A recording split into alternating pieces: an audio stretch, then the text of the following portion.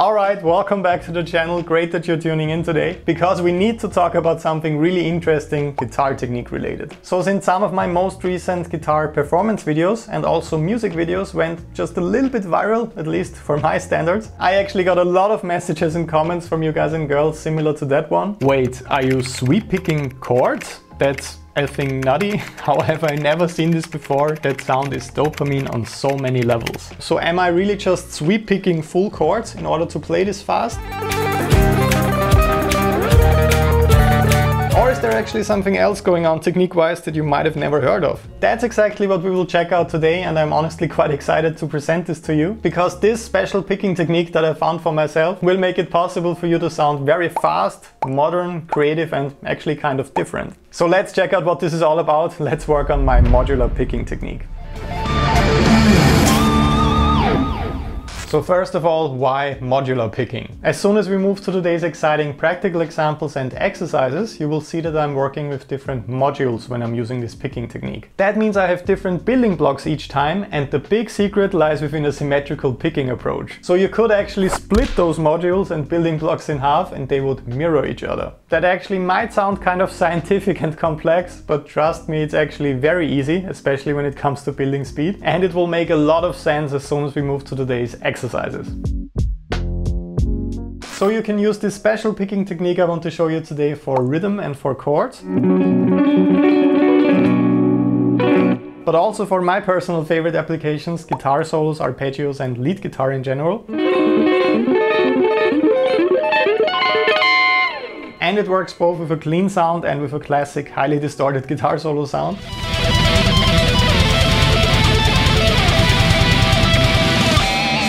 But before we get to the awesome exercises I prepared for you today, let's analyze the technique up close and how this works so that you can start at the beginning. Before I was getting really deep into this technique and before I was using it for my own music, you might have seen me refer to it as strummed sweep picking, but I think this is kind of confusing since this is much more than just a slight variation of sweep picking. It's a very different picking approach and playing style, and it will allow you to pretty much double your speed instantly once you got the basics down. So if you're subscribed to the channel and part of our guitar community, chances are pretty high you're familiar with sweep picking. That's obviously a classic and really cool technique for playing single notes and arpeggios. So instead of playing chords where you have overlapping notes, you focus on clearly separating each note and it sounds quite similar to playing a scale when you're playing a guitar solo, except that you're working with arpeggios. So at one point I got very interested in combining this kind of rhythmic and flowing sweep picking approach with different arpeggios and chords, but instead of separating the notes, I was actually searching for shapes that consciously allowed me to overlap different notes and intervals in them. A very simple A minor 7 shape for example, where I'm really just barring the 5th fret with my index finger like this because this allows me to easily work with a chord melody approach so I can move my other fingers around to extend the chord or the arpeggio. So I have my index finger barring the 5th fret, but I can still move my other fingers around and extend the shape. So with my pinky finger and with my ring finger. And after experimenting with this for a couple of months I got these results. And your question right now is how exactly is this different from just strumming chords? Everybody can do this, right?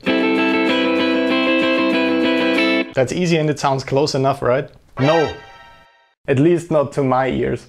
So when I apply this technique, I focus extremely hard on playing 16th notes or even 32nd notes, because this technique allows you to play very fast. Or I could also do it in triplets, of course.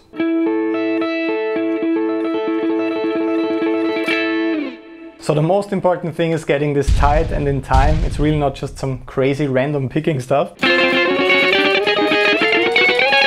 It definitely shouldn't sound like this.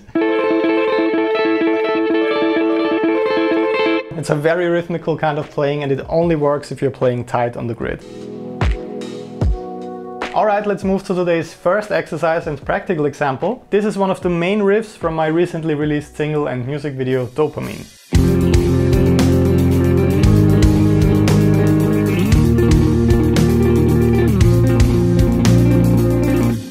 So I think this sounds pretty cool and musical right away. This is a great example and application of this technique when it comes to chords and rhythm guitar. Shameless plug at this point, my new album Elevation features this technique quite a lot actually. And it's finally on Spotify and on all streaming platforms and I added the link to that below as well.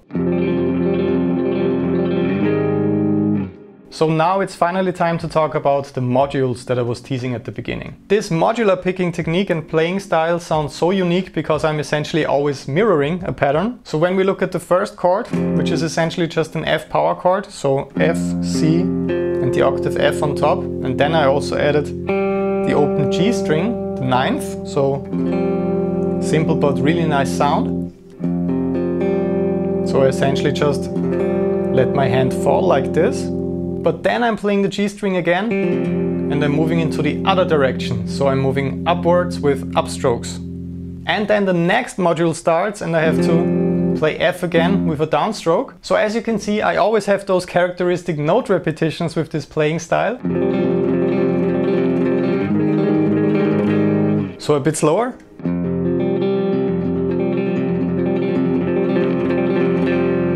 And the hardest thing is actually playing in time here. So really playing one, two, three, four, one, two, three, four, one, two, three, four, and so on.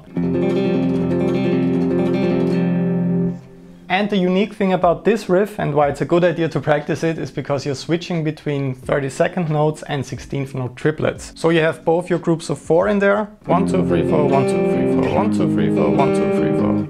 And groups of three as well. So this is an awesome and musical exercise that features the two most important groups that you will need. In case this one is a bit too difficult and advanced for you, but you really want to learn this awesome and unique picking technique, I made a full modular picking course for you on patreon.com slash Bernth. This one features some awesome beginner and intermediate exercises. As always, I made exercise video play-alongs for you in different tempos that you can practice with, backing tracks, Guitar Pro files, PDF tabs and much more. So make sure to join our awesome community over there today. The link is in the description description and in the first comment below. So the second exercise I prepared for you today is a bit more difficult, but it's a perfect example of all the advanced and crazy picking patterns you can come up with while using this technique.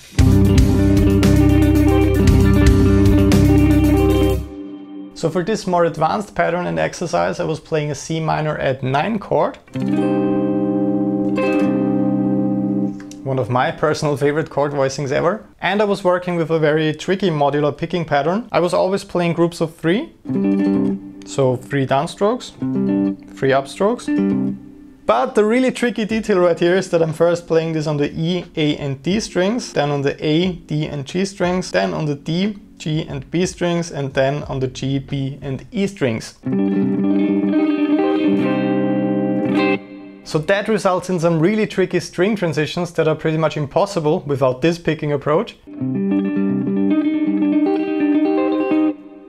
And as you could see, what really helps me with that is switching between the two picking angles so that I don't get stuck in between the strings. Make sure to check out this episode in case you missed it, that one should help you out as well. But as you can see, as soon as you move that modular picking approach away from just playing one chord up and down on a couple of strings,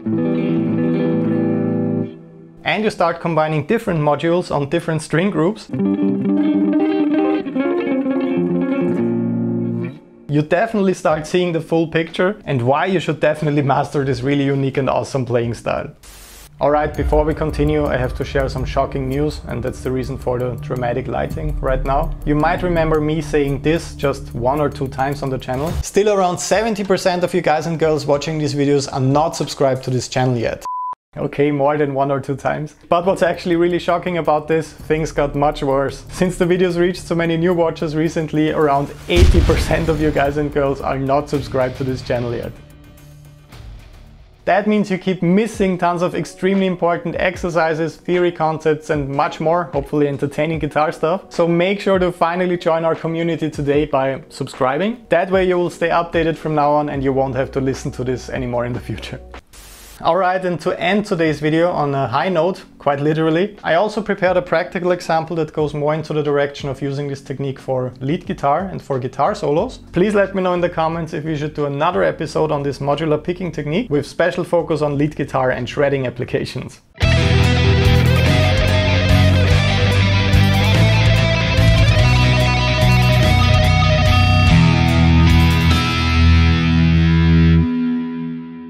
My friends, I really hope that you enjoyed today's episode and that you will try today's picking technique. I'm quite sure that you can use it for many different creative and interesting ideas in your songwriting for riffs and for licks as well. In case you want to learn this as fast as possible, make sure to check out the new Patreon course I made for you. This one features tons of really cool beginner and intermediate exercises for modular picking. And since I made a lot of exercise video play alongs in different tempos, I'm practicing this together with you every single day. And that should definitely help you with avoiding bad habits when it comes to learning a completely new technique. And the most important thing, your random German word for today is schnell. That means fast, just like you're picking as soon as you learn this technique. As always, make sure to comment that one down below to confuse everybody who's not watching these videos until the end. And I will see you again in the next video. Have an awesome day and tons of fun practicing. Great news, my friends! I'm finally on Spotify to provide you with some awesome guitar music and shredding. You can already listen to my first full length album, Elevation. There's plenty more exciting music in the making for you right now. So make sure to follow me on Spotify today. The link is in the description, or you can just search for my name.